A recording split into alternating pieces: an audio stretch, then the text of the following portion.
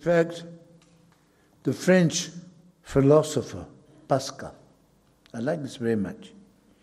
He once said, All of men's difficulties, I mean, those days say men anyway, they also mean women. All of men's difficulties are caused by his inability to sit quietly in a room by himself.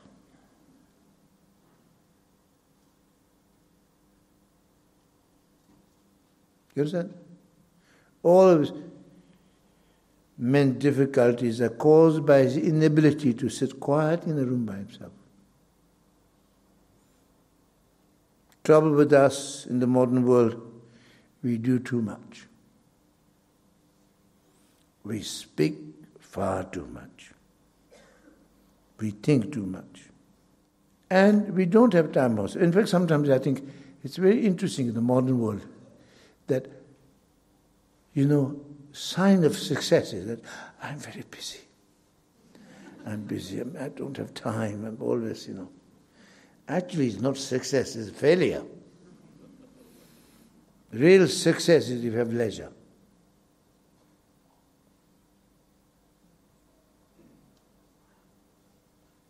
Most important is you have time for yourself and spend well. And what we've done, we're doing, doing, doing we, but we've, we've forgotten how to be with ourselves.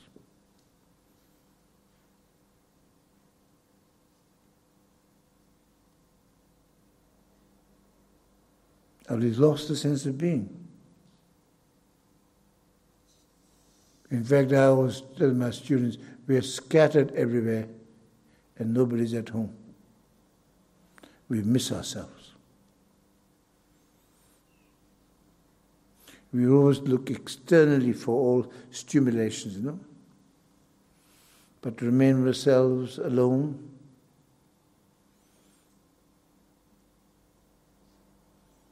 you become lonely, you become, you know, you fill your life. You see, there are two things loneliness and aloneness.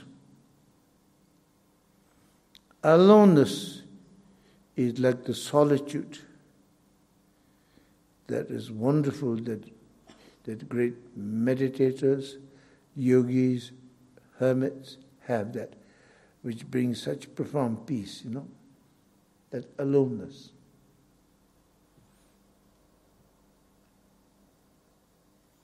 That we, we have not found, we have not, we've not come to terms with ourselves.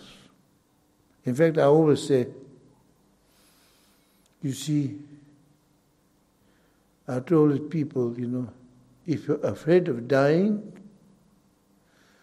I tell them, don't worry, you will all die successfully. so then, why are we afraid of dying? Because when you die, that's the moment of truth. We need to face ourselves. Fear of death is not looking at us. That's why the, among the Christian contemplatives there's a memento mori. Remember that you have to die. If you remember that we must die, we might then realize what life is. In fact, death is like a mirror in which the true meaning of life is reflected. Death is one of the greatest teachers. In fact, in the Christianity and Buddhist contemplative monks, one of the most important focal point practitioners is about meditating on empty, meditating on impermanence and death.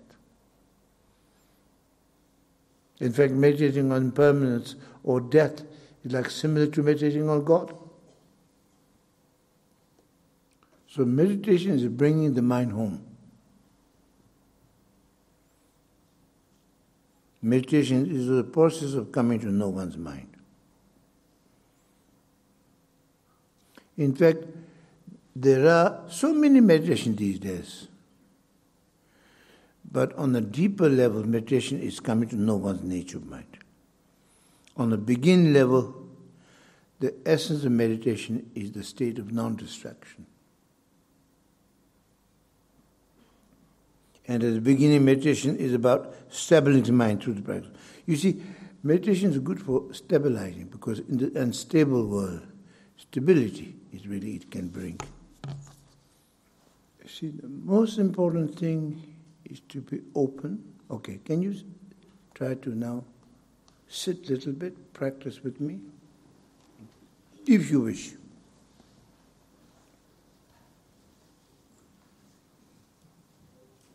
Be, most important, be spacious.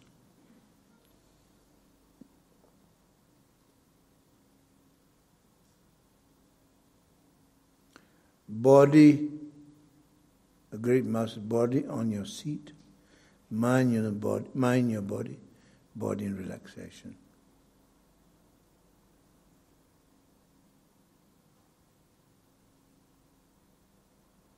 To be open spacious.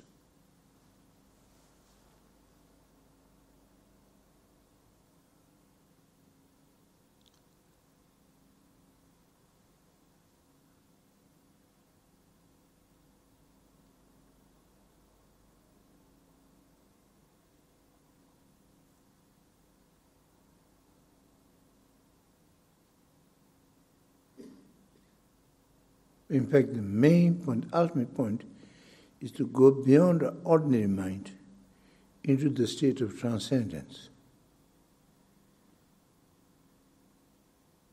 into the sky-like nature of mind. The amazing thing is, while still being in this world, we can elevate our mind to that state where we can see things, view things, with our awareness in a very special way, when we have the awareness of awareness that even when we have anger, even negative emotions come, if we have the awareness of awareness, anger can rise, but we will not act. You understand? I think the main thing I wanted to share with you is that main thing is to bring your mind to a different level. In fact, drop your mind. Trouble with us, we don't leave mind alone. We're always thinking, thinking, thinking. Leave your mind alone. It's a bit like people who know how to. I, I don't know how to ride bicycle, so I'm fascinated with people who know how to ride bicycle. People know how to ride bicycles. I've tried to ride. I fell down many times. Now don't even try. I passed it. But now, whereas those people who know how to ride bicycle, moment they get on the bicycle, they don't have to think about the balance, isn't it? They have the balance in them. That's the thing. Main thing of meditation is the balance of the mind. The equipoise. It's called nyamya in Tibetan. Equipoise. Khyentse Rinpoche always used to say, Leave your mind unaltered in the state of equipoise. Equipoise.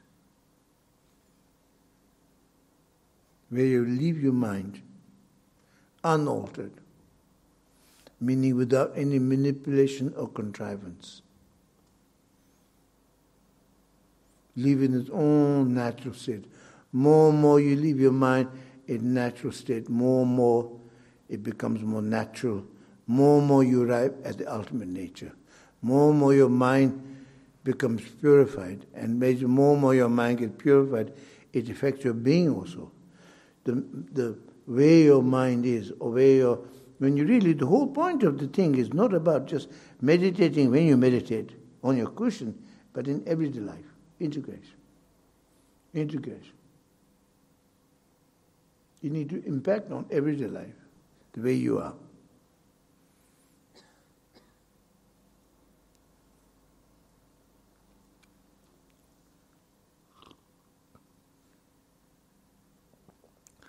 as I drink this, this is meditation.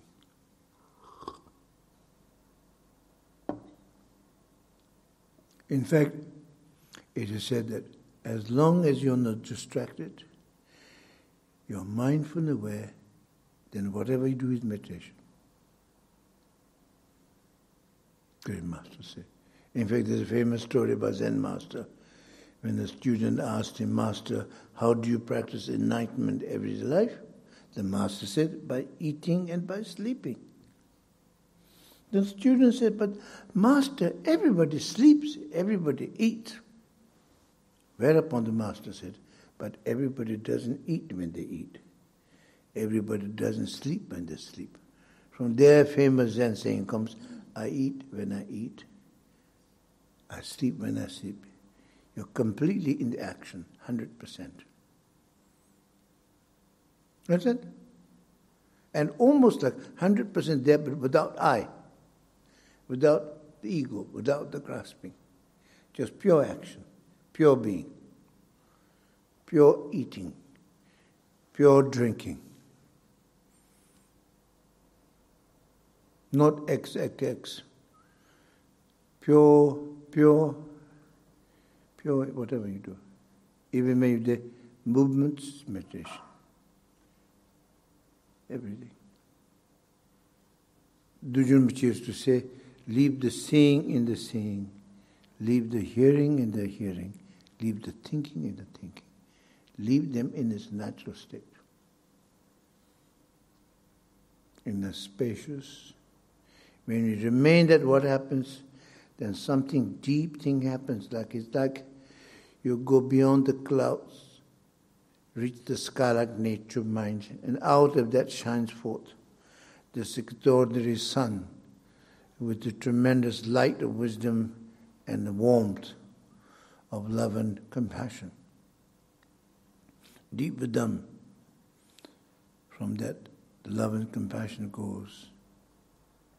More and more integrate in that, in your, not only your meditation, but in everyday life, in every action. That's why the great master say, never, never separate everyday life with your meditation. Trouble is, if you separate every day with your meditation, you just say, when I practice, then what happens? I'm practicing, you start to practice, and then, like from upstairs, your neighbor or your wife or somebody you know, flushes the toilet, and you can scream saying, I'm meditating, can you keep quiet? And then, you know, like, you become very tense about it. You separate. But whereas if you just take it as just every day, then whatever, even flushing is meditation. Even noise is meditation. When the noise comes, that becomes the object of meditation. Every thought becomes meditation. When you use thought as meditation, what happens? Thought. It's like when you use thought as meditation, it's like the best experience is that moment you watch thought as your meditation, the thought dissolves. That's the best experience. The next best is that if you watch your thoughts as a meditation, you meditate on thoughts, what happens? Suddenly, it's like watching a movie or a television. When you watch a movie television, there are a lot of things going on on the screen, but you're not in the movie. Isn't it? It's like when you start watching meditation that you be a little bit separated from your thought. That brings that space. The word need is space, inner space, inner freedom. Clear? And very much integrating that in everyday life. In fact, more and more when you practice, what happens? The grasping dissolves. Grasping mind dissolves. Like, you know, that you can still think, perceive things, they're no longer grasping, enter into the perception. It's bit like, I use the example of, you know, a non-stick pans. You fry egg, you think it doesn't stick. It's like your mind becomes non-stick. You can view all kinds of things, but they no longer stick. There's a space between you. And you begin to see things as more like illusory as you realize more. So in the meditation, there are two kinds of meditations. In Tibetan and Buddhism, first meditation, it's called shamatha and vipassana. Shamatha is the first. Shamatha is kind of practice of calm abiding. It's mainly a practice of mindfulness, awareness. There are two kinds of shamathas. Shamatha with support and with an object, like focusing on the breath on the image, even thought, because Buddha realized that the root of our cause of our problem is distraction.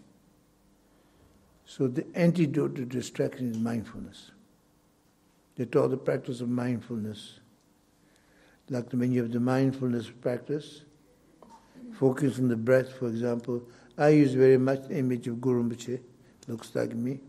You don't put 100% on concentrate. Because if you do 100% on mindfulness, then you know. Uh, for example, there's Buddha's main disciple called Ananda. He had a disciple called Shona. He started meditating. He concentrated too much. He got a headache. Then he was told to relax. He relaxed too much, fell asleep. So when he was brought to Buddha, asked for advice, Buddha said, well, he was a musician. He said, what kind of, he was a veena player. He said, what kind of string, what kind of thing brought the best sound? Then he said, neither too taut nor too loose. Same with mind. You understand? So therefore when you meditate, only 15% focus on the mindfulness, on the breath. Very much spaciously. And then another 15% on awareness, because if there's no awareness or vigilance, because you may be mindful, but you've just fallen asleep, you may be daydreaming, you don't know. So there, 15% is an awareness that oversees whether you're mindful or whether you're practicing or not. Keeps a check, a guard. But then left with 50%. 50% is left abiding spaciously. As the great Zen master Suzuki Roshi said, the way to control cow or sheep is to give a big grazing field. So you give your mind space, 50% abiding spaciously with 15% mindfulness and 15% awareness. And as you go, continue to practice. The whole point of this meditation first is to overcome distraction. You understand? Bring mind together, bring stability. Meditation is very good for bringing stability. If you practice regularly, it will bring more stability in your mind. In fact, bring stability, as in, in one of the teachings, Olindalamaki said, it, it, it strengthens your mind so that mind, your mind becomes more conducive to virtue. Then the main thing is after a little while, what happens that you see then distractions, you know, that the mind becomes more distraction dissolved. The whole point of the essence of this meditation is state of non-distraction. When you're able to remain the state of non-distraction, then you not, don't have to focus on the breath. You understand? Or focus on the object, because that's only a skillful means. Once you're able to arrive at the state of non distraction, then meditation is called shamatha without support. You're free of the objects, free of the technique. Instead, you remain in the state of non distraction while you're mindful, and aware, and then whatever you do is meditation. You got it? Whatever. That's the best meditation. Whatever you, every day, whatever you do is meditation. But you have to be in a state of non-distraction. And it's good to do that before beginning that you need to do a formal practice because then that will bring your mind to the state of non-distraction. Then every day what you do is you remain while not being distracted, remain in the state of you know, that non-distraction. Then whatever you do while walking, while sleeping, while walking, becomes meditation. Is that clear? I thought that would be helpful. But then as you continue to do this practice called Kamabhati, as you begin to do slowly, slowly, the grasping tendencies begin to dissolve. Because the root cause of all our suffering is grasping. Grasping, especially at the false view of yourself, which is the ego. Ego is the root of all our suffering. Hence, therefore, remedy is thinking of others, cherishing others instead of cherishing yourself. Then finally, also through the remedy of realizing both self and all phenomena are empty of nature, then you become free and be liberated. That's I'm going to whole Buddhist part of, you know. Then as your mind becomes free of grasping, then as your mind becomes free of grasping, then you arrive at what is called begin of the glimpse of the vipassana. Where you reach the where there is no grasping entering into perception. That's the kind of what's called Dhamma Bhishara. The wisdom that realizes the egolessness. Gradually dawns. And then from this uh, the mind is therefore purified and we are deeper insight.